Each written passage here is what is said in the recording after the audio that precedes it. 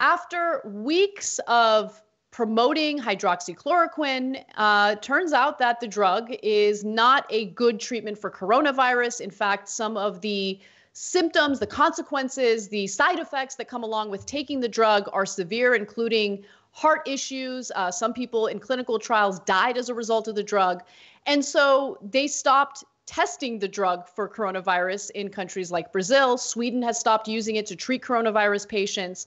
Uh, but apparently, Dr. Oz missed the memo because in a recent Fox News segment, um, seemed like he wasn't completely up to date with new information. Let's take a look. All right, so let's move on to hydroxychloroquine.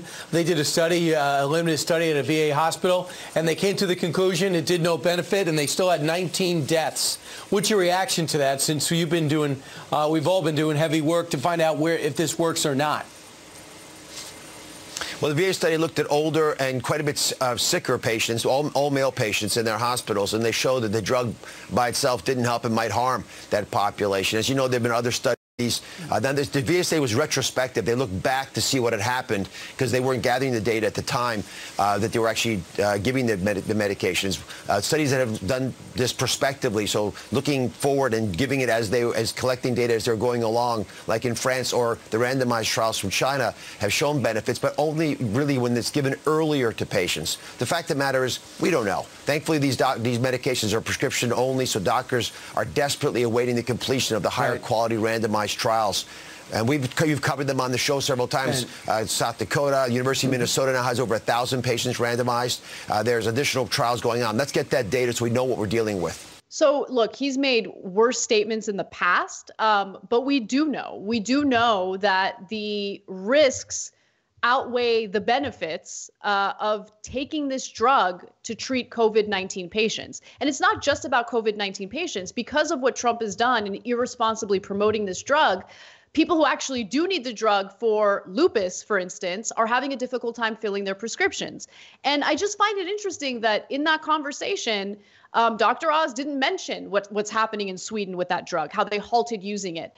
Um, the study out of Brazil, where so many people taking hydroxychloroquine, um, um, which is you know the active ingredient in hydroxychloroquine, died as a result of being part of that clinical trial. So Brazil was like, we can't, we're going to cut this part of the trial because it's too much of a risk, right? So the we do know how severe the consequences are and i think he needs to be clear about that.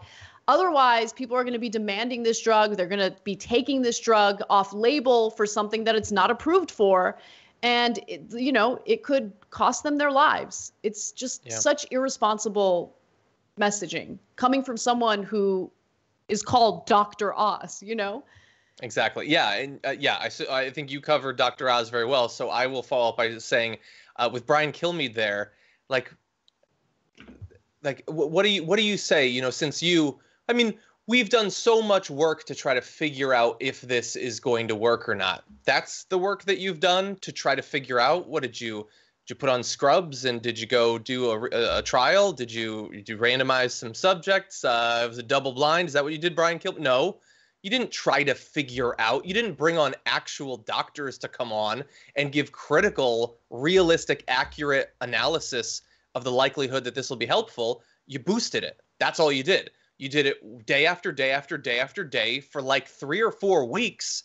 Um, you led to donald trump obviously uh, starting to boost this themselves. I mean, everybody should watch John Oliver's uh, episode from Sunday where he did a, a, great job of mapping out the path of this whole hydroxychloroquine thing. But no, they didn't do any. All they did was boost it and lead to people having completely weird um, views of the likelihood that it's going to be successful. And so I, I think it's it's awesome that we're pointing out that Dr. Oz has some culpability here in terms of giving people those expectations, but he was not the only one. He was brought on to do that by hosts and by mm-hmm. shows that had that as their mission. Yeah, exactly. And and the way that I view that segment that we watched was a way for Fox to kind of like cover their tracks because they had been promoting that drug irresponsibly for so long and now they're trying to change the messaging to make it seem like oh no no no we're we're responsible we have new information but anyone who spent the time to look at the studies that had been done previously, there was one in France, for instance, you can see how insanely limited that data was and how the death rate for people who were taking that drug in that clinical trial in, in France was too high, right? Mm-hmm. So they did they not do that? Oh, I mean, forget Fox. Of course Fox didn't do that. Fox has no interest in ever sharing the truth or doing research or giving people actual evidence for their arguments. It's just a propaganda cable news channel. But Dr. Oz, like I he he cares about his brand. I know that he cares about his brand and I know he cares about credibility because credibility means you can keep going on these shows, you can keep making money. You're hurting your credibility, bro. I get it. You think that it's great to be on Fox News. It's not. Because you're associating yourself with propaganda and from previous segments that we've shown the audience, he obviously can't help himself in just like going along with what they're saying.